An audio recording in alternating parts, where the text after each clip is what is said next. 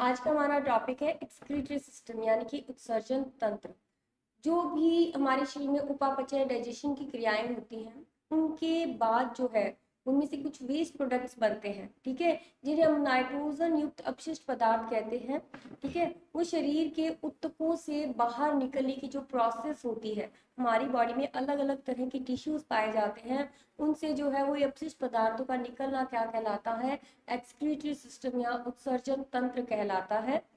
उत्सर्जन के आधार पर देखो, जीव तीन प्रकार के होते हैं। एक अमीनोटैलिक होता है, एक यूरियोटैलिक होता है, एक कौन सा होता है? यूरिकोटैलिक होता है। सब अलग अलग तरह की जो है वो उत्सर्जन करते हैं। जिनमें से सबसे पहले कौन सा है? अमीनोटैलिक है, जो कि अमोनिया का उत्सर्जन करते हैं। ठीक है? जो अमोनिया का उत्सर्जन करते हैं, ऐसे जीव कौन से होते हैं? वो जल में अधिक रहते हैं। ठीक है? जो जलीय जीव होते हैं ना, वो अमोनिया का उत्सर्जन ज़्यादा करते हैं। जैसे मछली है, मेंढक है, ठीक है? मेंढक जो है वो पानी और बाहर दोनों में ही रहता है, लेकिन जो है वो ये उत्सर्जन करता है, वो कौन सा होता है? अमोनिया का करता है। इसी वजह से इसे अमोनोटैलिक ग्रुप के अंदर रखा गया है। तो अमोनिया का उत्सर्जन करने वाले जीव क्या कहलाते हैं? अमीनोटैलिक कहलाते हैं। ऐसे जीवों को जल की अधिक आवश्यकता होती है, ठीक है? ऐसे जीवों को किसकी आवश्यकता होती है? जल की सबसे ज़्यादा आवश्यकता होती है, जो भी जलीय जीव होंगे, जैसे समुद्री घोड़ा है और इसके अलावा ऑक्टोपस है तो ये स्टार फ़िश है मछली है, डॉल्फिन है, ये सब के सब क्या कर रहे हैं? मछली जो मेंढक का जो लार्वा है, इसके अलावा ये सब क्या करते हैं? अमीनिया का उत्सर्जन करते हैं। इसमें देखो, जैसे मेंढक का लार्वा होता है, ये जैसे आप कई बार वाटर के ऊपर देखते हो तो एक पतली सी लेयर बनी होती है, हल्की सी व्हाइट कलर की, बहुत ही माइनर सी होती है, बहुत कम दिखती है। बरसात के दिनों में अगर आप देखोगे तो वो आपको बहुत आराम से दिख जाएगी, क्योंकि गंदे पानी में या वहाँ पर आपको आराम से दिख जाती है ये। तो वो जो होती है, वो किसका उत्सर्जन करती है? वो अमोनिया का उत्सर्जन करती है, ठीक है? अमोनिया का उत्सर्जन करती है। फिर है यूरियोटैलिक, यूरिया का उत्सर्जन करने वाले जीव कौन से होते हैं, यूरियोटैलिक होते हैं। ऐसे जीवों को जल की आवश्यकता बहुत ही कम होती है। हम लोगों को एक मिनिमम क्वांटिटी होती है कि उसके अंदर इतनी ही हमें क्या होती है? जल की आवश्यकता होती है। जैसे हम लोग डेढ़ से दो लीटर तक पानी की आवश्यकता होती है एक दिन के अंदर। लेकिन जो जल में जीव रहते हैं, उनको तो एनी टाइम क्या होती है? जल की आवश्यकता होती है, वो जल के बिना रह ही नहीं सकते। इसलिए वो अमीनोटैलिक कहलाते हैं। यूरियोटैलिक में हम लोग आ जाते हैं, मनुष्य आ जाता है प्रॉपर जो मेंढक बन जाता है टॉडपॉल जो होता है, वो आ जाता है उसमें, गाय, भैंस, जो भी आपको ज़मीन पर जलते हुए जो भी जानवर दिखते हैं, वो सब कौन से होते हैं? यूरियोटैलिक होते हैं। वो जो जल में दिखते हैं, वो सबके सब कौन से होते हैं? अमीनोटैलिक होते हैं। फिर आता है यूरिकोटैलिक थोड़ा सा डिफरेंस है, ध्यान से पढ़ना। एक तो होता है यूरियोटैलिक और एक होता है यूरिकोटैलिक यूरिक एसिड का उत्सर्जन करने वाले। यूरिया का उत्सर्जन हम लोग करते हैं, ठीक है? यूरिया का उत्सर्जन करने वाले, जिसमें मनुष्य मेन है, मेंढक, गाय, भैंस है, और यूरिकोटैलिक के अंदर कौन से आ जाते हैं? जो यूरिक एसिड का उत्सर्जन करते हैं। यूरिकोटैलिक आपको बता दिया कि यूरिक एसिड का उत्सर्जन करने वाले जीव जो होते हैं, वो यूरिकोटैलिक कहलाते हैं। इन्हें जल की आवश्यकता सबसे कम होती है। अगर आप देखोगे तो कॉकरोच कभी पानी पीते हुए देखा है, छिपकली है, पक्षी वर्ग है जिनके अंदर क्या है शुतुरमुर्ग पक्षी जो होता है ना उसके अंदर क्या पाया जाता है मूत्राशय पाया जाता है वो यूरिया का उत्सर्जन भी करता है ठीक है? लेकिन आ, मतलब कभी इसके अंदर दोनों मिक्स से ही होते हैं तो इसका क्वेश्चन बहुत कम ही पूछा जाता है ठीक है? लेकिन जैसे कॉकरोच है छिपकली है पक्षी वर्ग का क्वेश्चन बहुत बार पूछा जाता है जो पक्षी जो होते हैं कबूतर है पैरेट है चिड़िया है तो इन सब में अगर आप देखोगे ना तो ये सब क्या करते हैं यूरिक एसिड का उत्सर्जन करते हैं। ठीक है? क्योंकि इनको आप देखोगे तो जल बहुत ही कम पीते हैं। बहुत ही रेयर अगर आप देखोगे ध्यान से तो छिपकली है, कॉकरोच इनको कभी आपने पानी पीते हुए देखा हो तो। पानी के आसपास भी बहुत कम जाते हैं ये। कॉकरोच आपको अगर नाली नाली के अंदर, वो पानी के अंदर कभी नहीं रहते। वो हमेशा ना जो बनी हुई होती है, नाली बनी तो ना, उसके हमेशा दीवार के साथ चिपके हुए रहते हैं। पानी के अंदर नहीं होंगे। तो ये इनको भी क्या होती है? पानी की आवश्यकता नहीं होती। तो ये यूरिक एसिड का उत्सर्जन करते हैं। एक बार फिर से बता देती हूँ। अमोनोटैनिक यानी कि अमोनिया का उत्सर्जन करने वाले, जो जिनको जल की आवश्यकता सबसे ज़्यादा रहती है। इसमें जितने भी जलीय जीव आएँगे, वो सब अमोनोटैलिक में आएँगे। यूरियोटैलिक में जो भी थल पे रहते हैं, ठीक है? ज़मीन पर जो रहते हैं, उनमें सब में कौन से आएँगे? यूरियोटैलिक आएँगे, जो यूरिया का उत्सर्जन करते हैं। जैसे मनुष्य, मैंडर, गाय, भैंस और भी आप एग्ज़ाम्पल चूट सकते हो। यूरिकोटैलिक में जिनको जल की आवश्यकता सबसे कम होती है, जैसे कॉकरोच है, छिपकली, पक्षी, वर्ग आ जाएँगे। फिर है मानव उत्सर्जित तंत्र। अपन को ये सबसे मेन है, इसमें क्वेश्चंस आते हैं। ये अच्छे से पढ़ना है।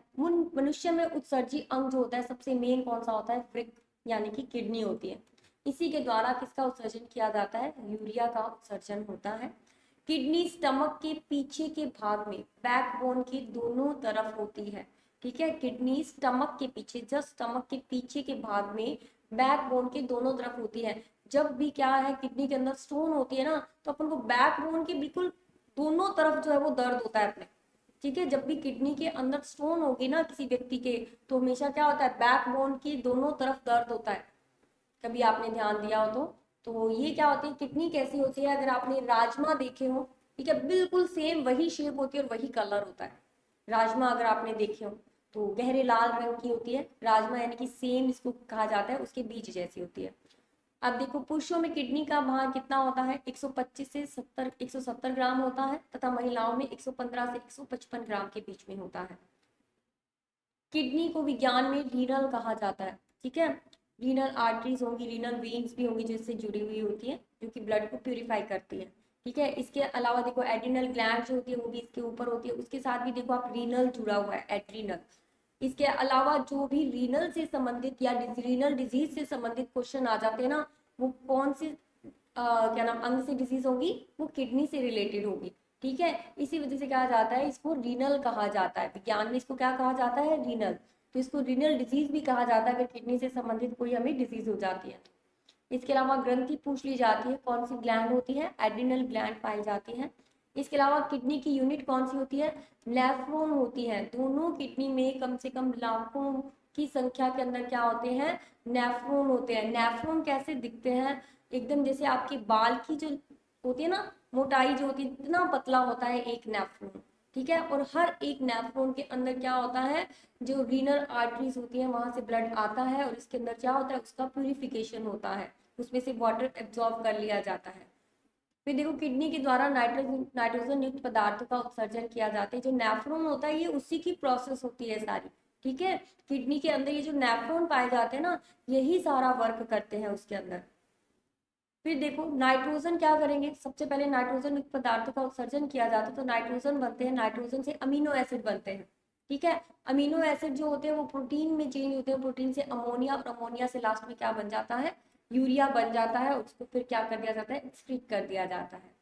यूरिया देखोगे तो आप लीवर में बनता है, ठीक है? किडनी में नहीं बनता, किडनी के द्वारा एक्सक्रीट किया जाता है। बनता ये कहाँ पर है? लीवर में बनता है। जब हम खाना खाते हैं, ठीक है? खाना खाने के बाद जो अनडाइजेस्टेड फ़ूड जो होता है, उसमें से यूरिया जो बनता है, वो लीवर के अंदर जाकर बनता है ब्लड के अंदर। ठीक है? फिर किडनी के बाहर निकाला जाता है। मैंने आपको लास्ट टाइम जब बताया था तो मैंने आपको बताया भी था डाइजेस्टिव सिस्टम में कि जब लीवर के अंदर बनेगा तो वहाँ से कहाँ जाएगा ये? किडनी में जाता है। ठीक है? किडनी में जाता है, वहाँ से प्यूरिफिकेशन होता है ब्लड का। वहाँ से क्या होता है? जैसे जितने भी अपन को प्रोटीन है विटामिन है, वो सब वहाँ पे छान लिए जाते हैं। ठीक है? उनको वहाँ से छानने के बाद क्या किया जाता है? उसको हार्ट की तरफ़ भेजा जाता है ब्लड को। ब्लड में से क्या लिया जाता है फिर? ऑक्सीजन ली जाती है ना? लंग्स के थ्रू ऑक्सीजन कैरी करता है हार्ट और उसके बाद क्या करता है? उसको पूरी बॉडी में पंप करता है, जहाँ से हमें क्या करती है? एनर्जी रिलीज़ होती है एटीपी के रूप में। तो पूरे जो साइकिल बनता है ना, जो लीवर बन लीवर में जो यूरिया बनने का साइकिल होता है और फिर किडनी के द्वारा बाहर निकाला जाता है तो इस पूरे साइकिल को क्या कहा जाता है? ऑर्निथिन साइकिल कहा जाता है। फिर देखो शार्क सबसे बड़ी मछली है, जो कि अमीनोटैलिक कहलाती है। तो शार्क सबसे बड़ी मछली है, जो कि क्या है अमीनोटैलिक कहलाती है।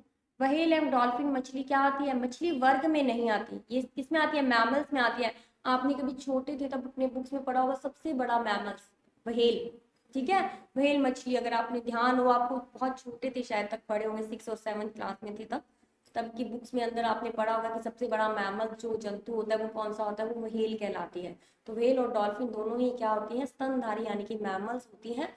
और यूरियोटैलिक के अंदर आती हैं और यूरिया का उत्सर्जन करती हैं। ये क्वेश्चन आया हुआ है एग्ज़ाम में।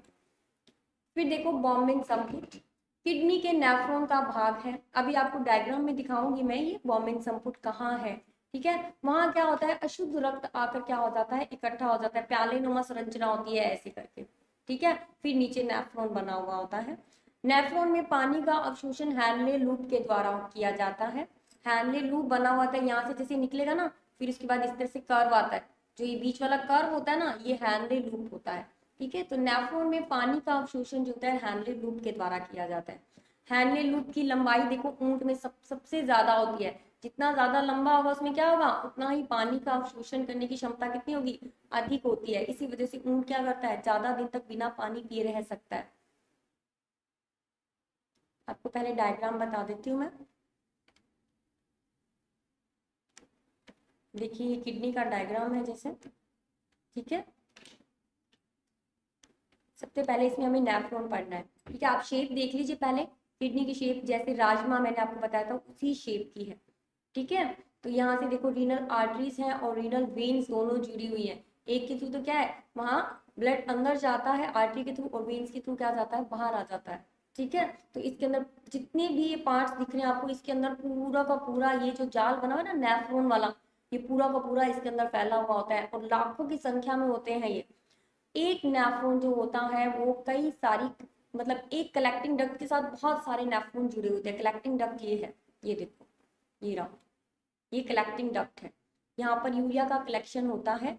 इसके साथ बहुत सारे नेफ्रोन जो ये आपको पार्टीशन दिख रहे हैं। एक ये रहा, एक ये रहा, ठीक है? इसी तरह से बहुत सारे होते हैं इसके अंदर। तो ये जो डक्ट बने हुए होते हैं, इनके अंदर क्या होता है, इनके साथ बहुत सारे नेफ्रॉन्स जुड़े हुए होते हैं और हर नेफ्रॉन जो होता है, एक बिल्कुल थोड़ी सी मात्रा में यूरिया बनाता है और लेकर आता है और इसके अंदर इकट्ठा हो जाता है। और उसके बाद वो कहाँ पर जाता है? यूरेटर में जाता है। ये आपको यूरेटर दिख रहा होगा। इसमें जाकर इकट्ठा होता है और फिर यूरिनरी ब्लेडर होती है। यहाँ पर एक मतलब बैलून लाइक स्ट्रक्चर होती है दोनों किडनी को मिलाकर। यहाँ पर एक बैलून लाइक स्ट्रक्चर होती है, उसके अंदर क्या होता है? पूरा का पूरा यूरिन जो होता है, वो फिल हो जाता है। और फिर उसके बाद हमें एक नेचुरल कॉल्स आती हैं कि हमें जो है वो यूरिन को एक्सक्रीट कर देना चाहिए। उसके बाद हम उसको एक्सक्रीट कर देते हैं। ठीक है तो इस सारा का सारा प्रोसेस किसके द्वारा होता है? नेफ्रोन के द्वारा होता है। उसमें एक वर्ड आया था बॉमिन कैप्सूल बॉमिन संपुट ये आपको गुच्छा दिख रहा होगा रेड कलर का ब्लड ब्लड वाला। यही बॉमिन संपुट है।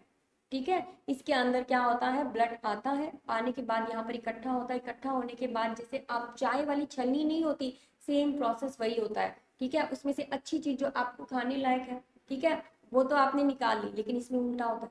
जो चीज़ हमें चाहिए, वो ऊपर रह जाती है और बाकी जो है वो नीचे चली जाती है। चाय पीते तो उसके अंदर तो क्या है कि आपको जो पीने वो आपने छलनी में से नीचे निकाले और वेस्ट प्रोडक्ट ऊपर रह गए। लेकिन इसके अंदर क्या होता है? जो हमें ऊपर जो प्रोडक्ट्स रहे हैं ठीक है, जो बड़े बड़े मॉलिक्यूल्स होते हैं प्रोटीन के विटामिन के फैट के कार्बोहाइड्रेट के तो सारे के सारे क्या होते हैं, ऊपर रह जाते हैं और कुछ चीज़ें ऐसी होती हैं जो जल में घुलने वाली होती है। जैसे ग्लूकोज है, और भी बहुत सारी चीज़ें होती हैं एन है, ठीक है? तो वो सारी की सारी वाटर मतलब घुलनशील होती है वाटर में तो वो क्या करती है, यहाँ से आगे जाती है, इसके अंदर जाती है और धीरे धीरे क्या होता है, ये आप ध्यान से देखोगे तो ये जो है वो आर्टरी जो इसके साथ साथ चल रही है रेड कलर वाली। ठीक है, आर्टरी साथ साथ चल रही है ना इसके तो फिर क्या होता है, ये सारी की सारी जो है इसके साथ लिपटी हुई रहती है, जो क्या करती है, यहाँ से हाथों हाथ इसको ऑब्ज़र्व करती रहती है वाटर को। और सबसे ज़्यादा ऑब्जर्वेशन कहाँ होता है, ये रहा हैंडले लूप ये जो लूप है, मैंने आपको भी बताया था, एक कर्व आता है, बहुत बड़ा सारा तो वहाँ पर ये पानी का ऑब्जर्वेशन होता है। उसके बाद अगर आप देखोगे तो एक पीसीटी आती है और एक डीसीटी डक्ट आती है। जब ये यहाँ से मूव होती है, एक तो पीसीटी डक्ट है और जब ये लूप के बाद जब मूवती है, वो कौन सी होती है? डीसीटी डक्ट होती है। तो ये वापस जाकर कहाँ चली जाती है? कलेक्टिंग डक्ट में जाकर जब इकट्ठा होता है पूरा का पूरा यूरिन और उसके बाद जो है वो यहाँ पर आता है यूरेट्रा में और यूरेटर से यूरिनरी ब्लैडर में और उसके बाद उसको स्प्लिट कर दिया जाता है। अब इसके कुछ मुख्य बिंदु हैं, जो कि क्वेश्चंस के रूप में ही है। तो मानव में किडनी का रोग क्या होता है? कैडमियम के प्रदूषण के कारण होता है। किडनी में कई तरह के रोग होते हैं स्टोन्स भी पाए जाते हैं। इसके अलावा अलग अलग तरह के रोग हो जाते हैं इसके अंदर। तो इसके अंदर क्या है? कैडमियम के प्रदूषण के कारण भी क्या होता है? किडनी का रोग हो जाता है।